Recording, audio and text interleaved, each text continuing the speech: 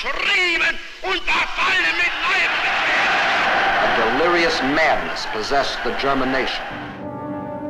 The Japanese planes are approaching Hawaii.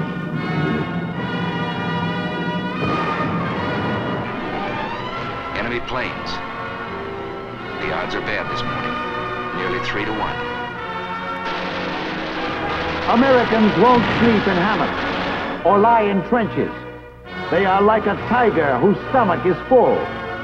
Prisoners were sent to their new homes to wait for the end of the war.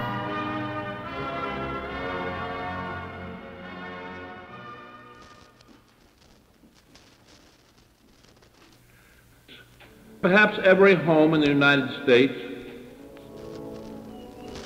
sad and anxious thoughts will be continually with the millions of our loved ones who are suffering hardships and misery, who are risking their very lives to preserve for us and for all mankind the fruits of his teachings and the foundations of civilization itself. My father used to talk about how the path to success is not a sure one. If I don't get those crops harvested, I'm not gonna make it. Those prisoners? Here on our farm? Clara, they send guards. I know that fear can create hateful feelings. I know you're spitting your Nazi puss. I only wish to see my family again. Hattest du gesehen kurz bevor? Shut up! It's easier to be angry than to own fear. The best opinions are the ones you make based on your own experiences. Yes, sir. But them boys in that camp, they're just like your sons and your grandsons.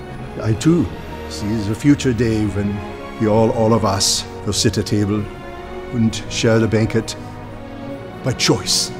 They're just doing what they're told. And I'd be willing to wager you that them boys are more afraid of us than we are of them. These men are prisoners of war. Many of them forced to fight in a conflict they wanted no part of. Now, I sell products at that camp all the time, and I see no reason to hate anybody.